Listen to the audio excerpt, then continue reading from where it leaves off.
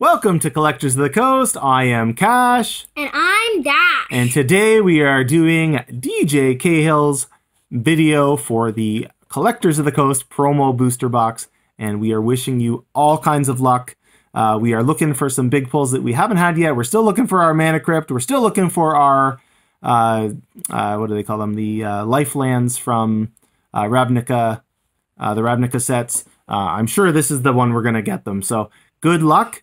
Uh, a couple of quick notes while we're talking. Um, I do want to do this again uh, sometime soon, so watch for that. If you did enjoy it, uh, I will definitely I will send probably an email out to everybody who did do this before, probably the day before I announce it uh, publicly that we're going to do it again. Uh, the next one we will want to have uh, some of the Ikoria set in, I believe.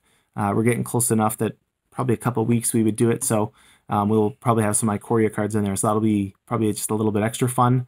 Um, depending. I, I, think I'm getting some early, so if I do it early, I might even just announce it early, and I'll and I'll have in my loose in the loose packs we'll have some Ikoria cards, and and I will make sure to do them fast, and and so you can maybe even get them before May 15th if we get them early. So um, we're we're kind of on the watch. We could get them any time now, so hopefully, hopefully tomorrow. That's I think the first day we can get them, um, but uh, might be as long as mid to late next week. So everybody, uh, stay tuned.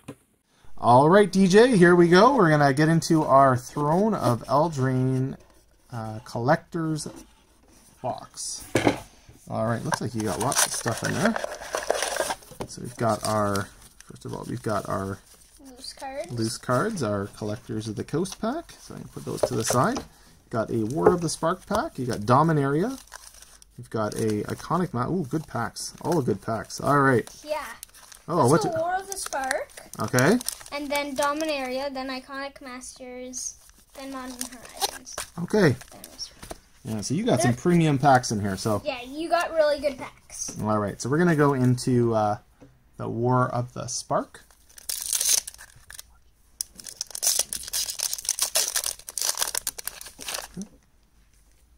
All right, so we're into our Teferi's Time Twist. Not a bad card. All right, so we've already pulled from War of the Spark. We already pulled Teferi. So what are the chances we get two two Teferis in this? Mm -hmm. All right, Bloomhulk. He's pretty good, actually. A little 4-4 pro proliferate creature. All right, so you got your Lazotep's Plating. Heartwarming de uh, Detention. Uh, discard all cards from your hand, then draw that many cards plus one. You gain life equal to the number of cards in your hand. Not bad. Vas Vraska's Swarm Eminence. Uh, not a bad little planeswalker here. Whenever a creature you control, uh, whenever a creature you control with Death Touch deals damage to a player or planeswalker, put that put a one-one counter on that creature, uh, and then minus two, you can create a one-one black assassin creature token with Death Touch. And whenever this creature deals damage to a planeswalker, destroy that planeswalker. That's a pretty nice little uh, little card, and a legendary card as well. So you get yourself a uh, Human Advisor, Tomik, Distinguished Advokist. Uh, flying 2-3 creature for 2, which is pretty good already, and then lands on the battlefield and land cards in your graveyard can't be the target of spells or abilities your opponents control. Your opponents can't play land cards from graveyard, so actually a nice, nice card. He is a yeah. nice little 2 for 2, and, and great in Devotion, uh, White Devotion as well, so really nice. Alright, that's a pretty good start. Pretty happy with that overall. Alright. So the question is, we've got two left. Are we going to have a home run pack opening? We've had, by my counts, we've had two that I would consider absolutely great pack openings. Um, we've had another two or three that are, uh, you know, I would say were really, really solid. Uh, and then we've had a couple that were, you know, kind of right around value, and then a couple of uh, a little, you know, a little disappointing for, for me. Uh, anyway, Dominaria we're on now. Adventurous Impulse, a really good green card.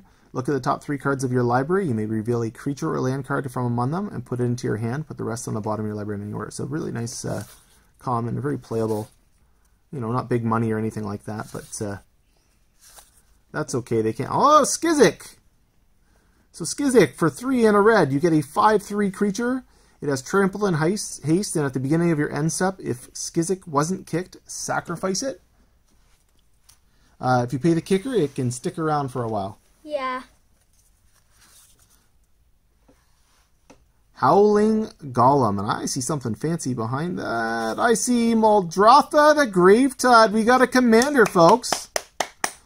All right, so we've got during each of your turns, you may play one up, play up to one target, one permanent card of each permanent type from your graveyard. Wow, nice commander, and we got a foil behind there. Rise of Belenith. We got a two, we got a mythic and a rare foil pack. Wow, uh, great.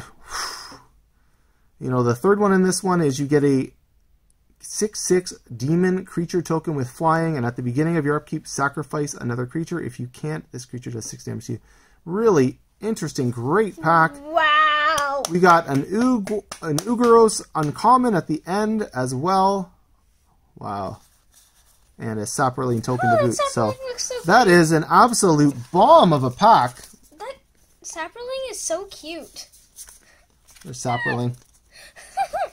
He is funny. he looks so funny. So cute. All right, so we've got uh, we're on to our iconic masters. So we've had some great pulls out of iconic masters. Uh, really, a card set that I think is going to go up. Uh, it was not really appreciated in its time, but there's some great cards in this. Um, so we've got an Emerge Unscathed, amass the components, draw three cards, then put a card from your hand on the bottom of your library. Got a uh, Scorpion, and Tuco Shaman, uh, he, so this guy, you get a you get a three two, but if it enters the battlefield when you control no on, no tapped lands, you get to draw a card, and you can play do suspend on him. So not too bad. All right, Heat Ray, Guardian Idol, Dirkwood Ballast, Fury Charm, Claustrophobia, uh, Wight of Precinct Six. Oh, he's pretty nice. So he gets plus one one for each creature card in your opponent's graveyards. That is a really fun to play common. Wow. I love that. All right, I'll put that to the side. All right, uh, Bubbling Cauldron. Uh, so you can gain life by sacrificing creatures. You got an Electrolyze, which is not a bad little uh, blue-red spell. Get yourself Condescend, a nice, nice, nice uncommon counterspell. Not only do you get to counter a spell, you get to scry two. Lord of the Pit, classic demon. Beautiful. All right, Flying Trample. Cost seven. At the beginning of your upkeep, sacrifice a creature other than him. If you can, he deals seven damage to you.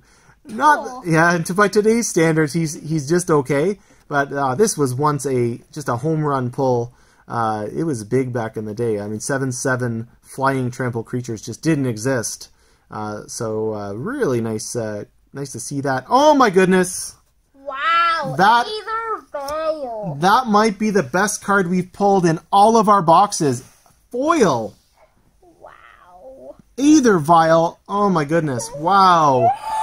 DJ, you are going to be a happy fellow when you see this video. So I, I, I hope you put like nine comments on your on in the comments. Wow. It is a creepy looking one too. There's kind of like this face thing peeking out. Yeah. Wow. Wow. That is awesome. You still got three packs to go, buddy. Wow. Aether Vial. I'll give you ten bucks for it. All right, so I'm gonna put that to the close. side. Oh, that was that was incredible, man. So, Yeah. That was and you got yourself a flying Djinn monk, which is really fun and creepy looking. That's so funny. All right, so we're on to Modern Horizons. We still haven't pulled a Ren, uh, Renin, not Modern Renin six, yeah, Renin Yeah, six out of Modern Horizons. If you get a modern, if you get a Renin six, uh, I don't know what I'm gonna do. wow, wow. So we're starting with a foil token, Wow. A con- foil construct token. Wow, and the creepy frog Oh my art. gosh, that kind That of is like the one of the monster. cooler looking arts from this. We're gonna put that to the side. Wow. All right, so we're gonna put this to the bottom. I don't know. I never do this right. All right. So you got a, uh, a gambit here. This is always uh, if you got to play. It's always nice to have one destroyed land card in your deck. You never know when people have lands you just can't deal with. So he's, it's not a bad one. All right, so we'll go quickly through these. Man of War. Uh, it can be good at time. Look at Spore So Frog. so you get to return a creature to its owner's hand. So he's, he's pretty nice. I like Spore Frog. So recruit the worthy, buyback card, scour all the possibilities. We've got a snow forest. Oh, you got another foil? Jeez, did we get two fo two foils in the same freaking pack? Wow.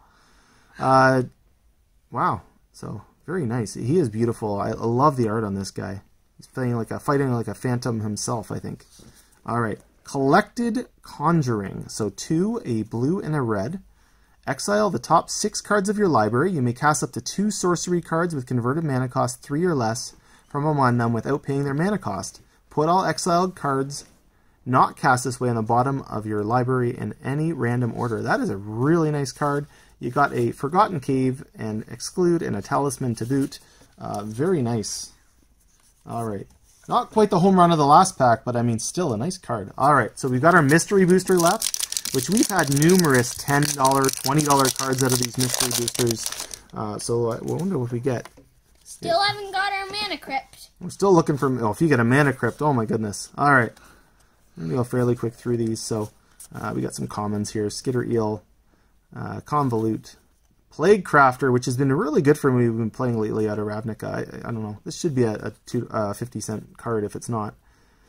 Uh, crippling Fatigue, Crippling Blight, sorry. Grape Shot, uh, Storm card, useful card.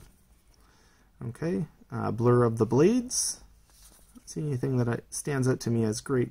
Uh, when this dies, draw a card, so not bad for a 1-3 creature.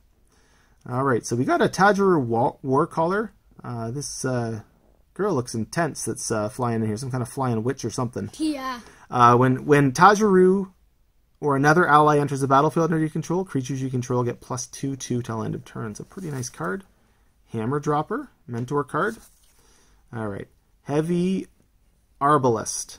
Uh, equipped creature doesn't untap during its controller's untap step. Equipped creature has tap. This creature deals 2 damage to target creature or player equip 4. Mm, hard to play that for a lot of use unless you got a lot of mana. Alright, Timely Reinforcements. Alright, and you got an Aether Flux Reservoir.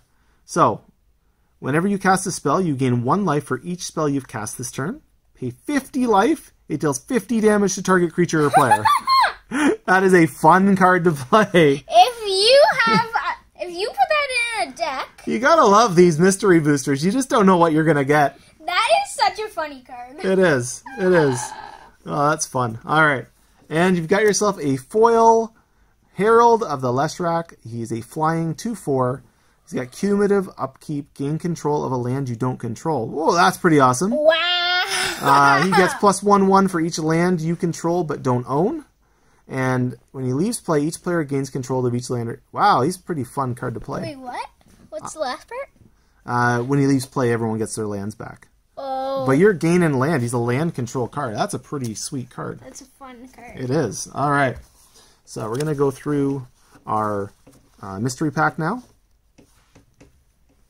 Uh, so we've got an old mountain. So this is from 1995. So I think this is 5th edition mountain. So very nice.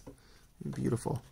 So different. I like the old style of the, the lands. All right, Queen of the Ice, Belle of the Brawl, Bognaughty, Forever Young, Lost Legion, uh, Flummox Cyclops, Whipgrass Entangler, Dragon Fangs, Once Upon a Time was played quite a bit, uh, Voltaic Servant, Touch of the Void, Goblin Sky Raider, Lavamancer's Skill, Pinpoint Avalanche, Skitter Eel, alright, Rakdos Roustabout, Anvilwrought Raptor, Hornet Sting from M11, Underworld Fires. So you got a uncommon from Theros Beyond Death. You got yourself a foil mountain.